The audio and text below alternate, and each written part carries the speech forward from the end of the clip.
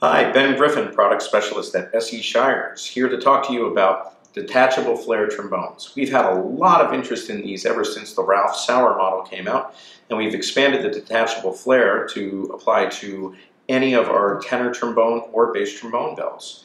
Um, people ask, what's the difference? Well, the biggest difference is we have this big collar on here, which adds a tremendous amount of weight to the bell. If you have a bell that you like, we don't recommend cutting it because it does make a difference in how it plays. However, we would recommend the next lighter model win the detachable flare. That's what we do with the Blair Bollinger model. The Ralph Sauer model trombone was developed from the start to be a detachable flare model instrument and therefore plays great just the way that it is. And we're very, very excited that this has just come out.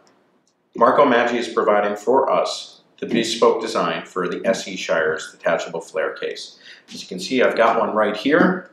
It is compact. It is a relatively lightweight. It will fit in an overhead bin on any large airplane. Let me take show you the inside of this just for a second. Slide fits on the top compartment. There's a flap separating the bell section. Here I've got a Ralph Sauer bell actually put into the case. We've delivered quite a few of these to our customers and they have been absolutely thrilled with them.